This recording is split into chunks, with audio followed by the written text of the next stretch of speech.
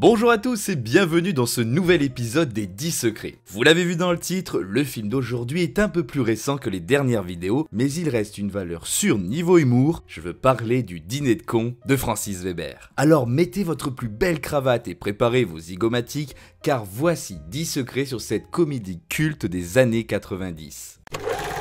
Les dîners de cons ont vraiment existé. Francis Weber le raconte lui-même, il a eu vent de ces repas un peu spéciaux organisés chez Castel, le célèbre restaurant de Saint-Germain-des-Prés. L'objectif, très simple, être celui qui a invité le meilleur corneau. Si vous avez vu le film, vous comprendrez. C'est l'animateur très connu Jacques Martin qui lui en a parlé. Il était embêté car son con s'était décommandé il n'en avait plus sous la main. Weber ajoute qu'il a pensé à un réalisateur en remplacement, mais sans préciser lequel. Qui sait, s'il faut, Jacques Martin a pensé à Francis Weber serait assez tordu, mais on ne saura jamais. Alors ça, c'est très tordu, mais bougrement intelligent. Bref, quelques années après, Claude Brasseur lui en a reparlé de ses dîners spéciaux, car lui-même avait été invité. Weber précise en effet qu'à l'époque, dans la décennie 80, il suffisait de brancher Claude sur le Paris-Dakar et il ne décollait plus du sujet. Brasseur ayant été, pour ceux qui ne le savaient pas, pilote automobile. Weber avait là le matériau parfait pour écrire son scénario. Il vient à Paris de temps en temps?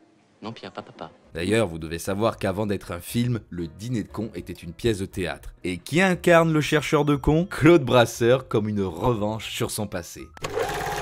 Dans le film, Thierry Lhermitte joue le méchant, Pierre Brochant, et Jacques Villeray joue le con, François Pignon. Mais si vous avez bien écouté au secret précédent, vous savez qu'avant d'être un film, le dîner de con était une pièce de théâtre. Et dans cette pièce, c'était Claude Brasseur qui jouait Pierre Brochant. Mais Weber l'a trouvé trop vieux pour la version cinéma et a donc choisi Thierry Lhermitte. Le personnage de François Pignon n'est pas en reste, puisque l'acteur Pierre Richard a semble-t-il fait des pieds et des mains pour de nouveau jouer au con. Et oui, il avait déjà été l'un des membres du terrible duo de Weber par le passé, avec La Chèvre notamment. Je vous en prie, restez concentrés. Excusez-moi. Bref, vous imaginez, on aurait du coup pu avoir cette célèbre scène avec Pierre Richard et Claude Brasseur. J'ai aucune idée de ce que ça aurait pu donner et j'ai du mal à imaginer. Je prends l'accent belge? Non. Mais voilà, je vous l'ai dit. Si le film est classé comme une comédie humoristique, ça ne veut pas forcément dire que sur le tournage, ce fut une partie de plaisir pour tous. Thierry Lhermitte joue un éditeur parisien et arbore une fausse douleur, puisque son personnage est censé s'être fait un tour de rein. Peine à voir. On dirait un cheval qui a raté une haie.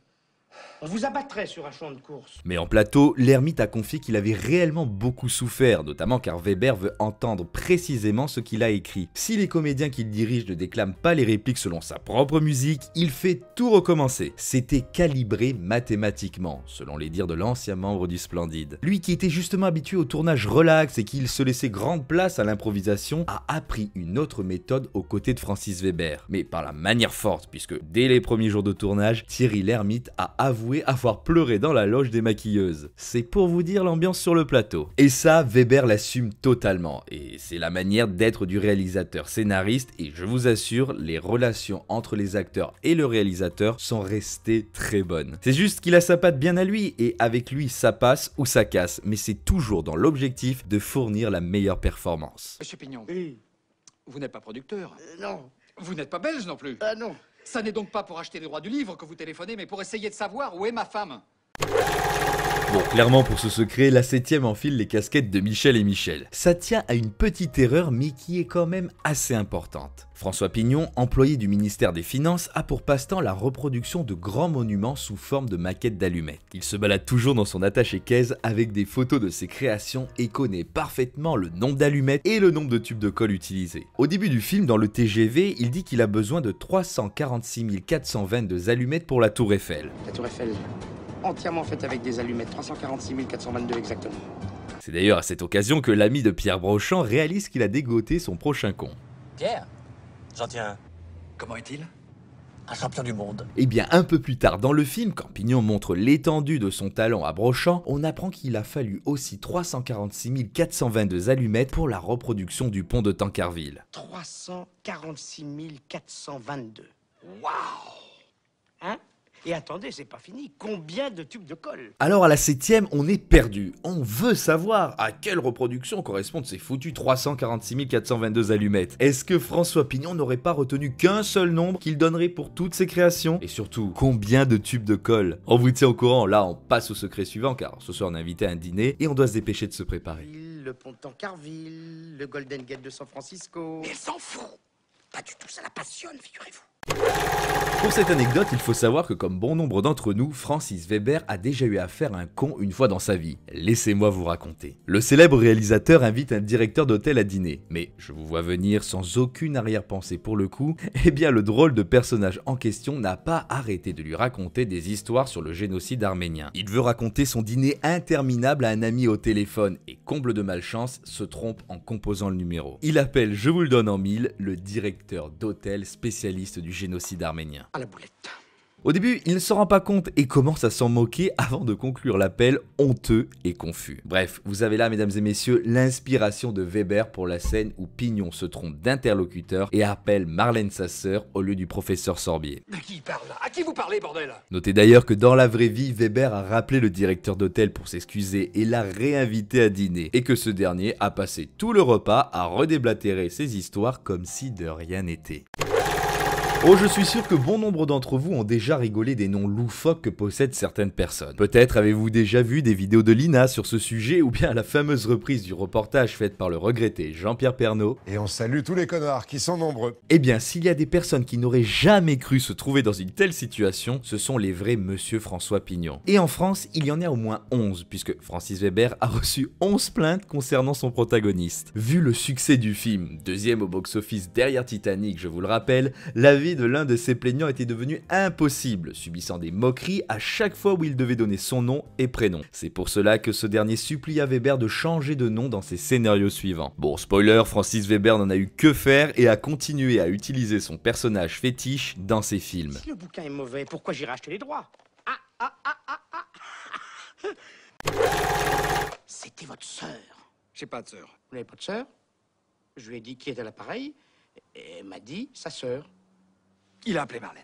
Cette anecdote, seuls les plus fins connaisseurs de Weber et de la pièce de théâtre dont le film dérive la connaîtront déjà. Le but de cette vidéo n'est pas de vous raconter en détail l'intrigue du film ni celle de la pièce, mais sachez que les deux sont quelque peu différentes. Ce sont des problématiques classiques de durée, de lieu, etc. Après tout, le théâtre et le cinéma sont deux arts à part entière. Bref, une exclusivité du film, c'est donc la maîtresse de Pierre Brochant, Marlène sa sœur, et notamment son nom vous l'auriez deviné, étant nécessaire au quiproquo qu'aura François Pignon au téléphone. C'est pas votre sœur.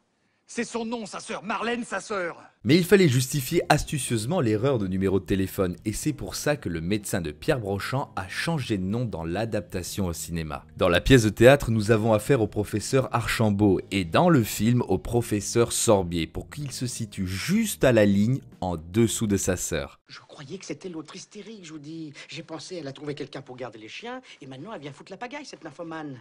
De qui il parle là? Il s'appelle Juste Leblanc. Ah bon, il n'a pas de prénom. Je viens de vous le dire, Juste Leblanc. C'est la scène que tout le monde retient quand on pense au dîner de cons. Jacques Villeray et Thierry Lhermitte sont juste parfaits. Les dialogues s'enchaînent à merveille et c'est le fou rire garanti à chaque visionnage. Weber sera lui-même surpris de la popularité comique de ce passage.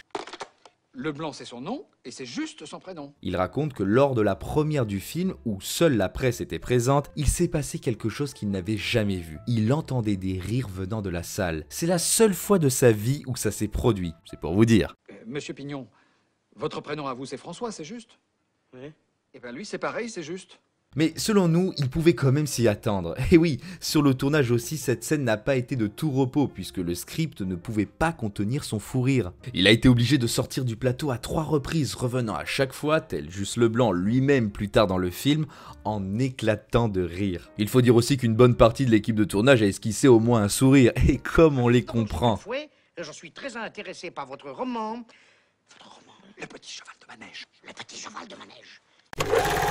Pour cette anecdote, resituons un peu la vie de Francis Weber dans les années 80. C'est à l'époque déjà un scénariste accompli et il a dans l'idée de conquérir l'Amérique comme bien d'autres avant lui. Direction Los Angeles avec son nouveau travail de script doctor, littéralement consultant en scénario. En parallèle, il travaille aussi au remake de ses succès français, mais pour être honnête, ça marche pas des masses. Il reprend alors le chemin de l'écriture avec le théâtre s'éloignant un peu du cinéma. Et paf, c'est comme ça qu'est né le dîner de con et c'est ce qui explique que ce fut une pièce de théâtre avant d'être un film. Une pièce qui d'ailleurs devait être jouée à Broadway et pas du tout en France. Mais il fallut que Weber repasse par l'hexagone du côté des planches chez son ami Jean-Paul Melmondo d'abord, puis dans d'autres théâtres ensuite et enfin au cinéma pour que le dîner de con reparte en Amérique. Et oui, vu le succès, un remake américain a été envisagé avec, tenez-vous bien, Monsieur Steven Spielberg à la réalisation. Mais bon, ça n'a pas abouti. Allez, pour les plus aventureux, j'ajouterai quelque chose. Un remake est effectivement sorti en 2010 sous le titre The Dinner, notamment avec Steve Carell dans le rôle du con. Je vous laisse aller le voir si vous le voulez.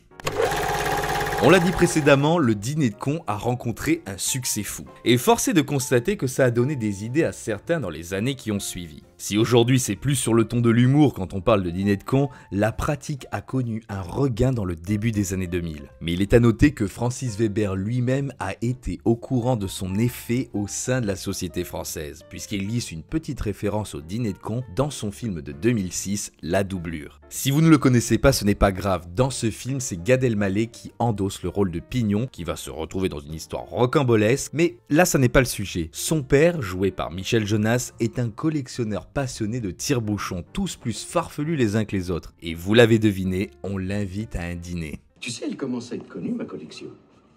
Si je te disais qu'on m'a invité mardi à un dîner pour parler de mes tire-bouchons. C'est formidable, papa. Et bien voilà, merci de nous avoir suivis pour ce premier 10 secrets de l'année 2023 sur le dîner de con. Si vous avez aimé la vidéo, n'hésitez pas à nous le faire savoir en mettant un pouce bleu ou en commentant. Quant à moi, je vous dis à très bientôt sur la 7ème production.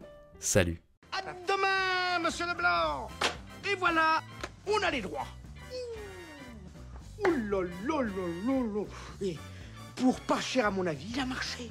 Il a marché à fond, le gars.